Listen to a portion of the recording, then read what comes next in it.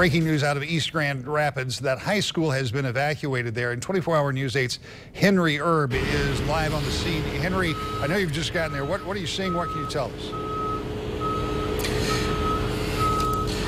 Yeah, well, right now this has become a staging area for East Grand Rapids Public Safety. We're in a parking lot off of Lake Drive to the uh, east of the high school building. And uh, I want to point this out, the State Police Bomb Squad just showed up. That is because a custodian in the building, in the high school building this morning, found what was uh, said to be a suspicious package of some sort.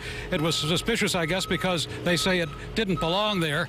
They're bringing in a State Police Bomb Squad uh, unit as well as a State Police bomb sniffing dog to take a look at this.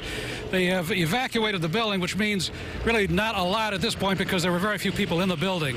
Uh, there was a custodian here some uh, student athletes were showing up for some practices this morning.